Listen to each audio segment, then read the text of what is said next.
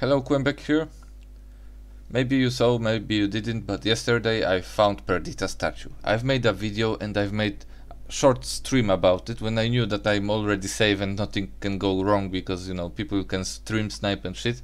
I've decided that I can stream the end of my actions with Perdita, which was rowboat and sailing towards Austera. Two videos were made and I posted one of those on official forums. I admit I wanted to show off a bit and I found it interesting that it was probably first Perdita found on Fresh Start servers. It's day 3 or was the third day since server start, so I believe that this is an achievement worth sharing with.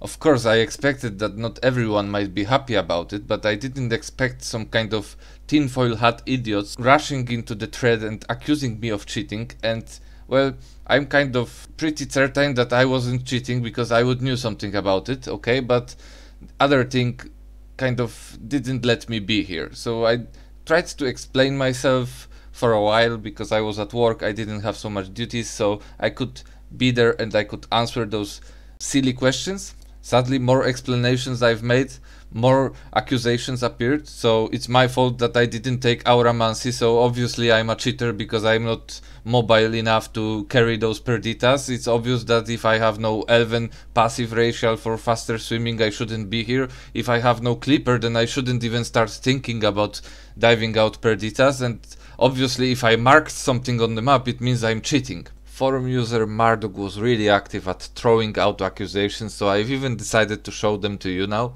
As much as it is fun for me to discuss with trolls like this and big tinfoil hat guys. Okay, today it was me. I have evidence because I'm a YouTuber, I'm a streamer, so I record a bit of what I'm doing in the game. But if I didn't have shadow play, if I wouldn't have proof right now, he would just throw stones at me constantly and he would make me look bad.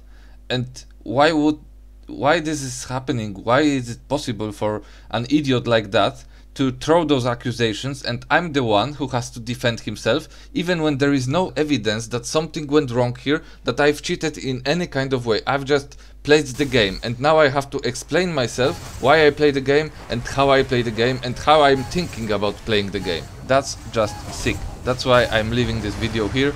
Total duration of the video is 10 minutes. It was edited for those screenshots to be inserted. Other than that, I leave it untouched so you can watch it yourself, make your own mind. And this is my final word in this discussion or in topic of me being accused of cheating.